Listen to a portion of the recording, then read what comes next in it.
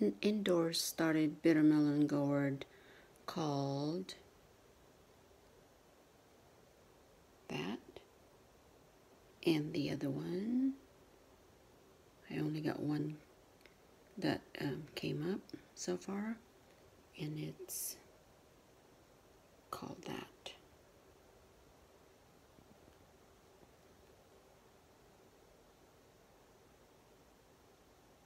Looks leggy but I think they'll be okay. Exciting